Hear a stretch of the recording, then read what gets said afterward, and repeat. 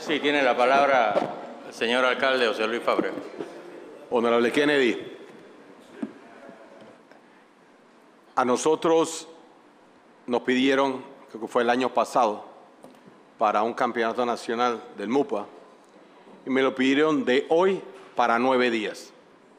Y la primera nota que yo recibí decía nada más que era como dos mil dólares, y cinco o seis días después, faltando creo que eran siete días, me dice, no, no, no, el, el recurso y eran como 12 mil dólares. Entonces, estamos recibiendo un presupuesto heredado y que las notas no las mandaron bien detalladas, milagros tampoco podemos hacer. Eh, el señor Alexis Gómez, alias Bellón, es un tremendo goleador, para, para que sepa, buen futbolista y de los mejores que mete triple cuando juega béisbol y softball. Es bueno, ¿no?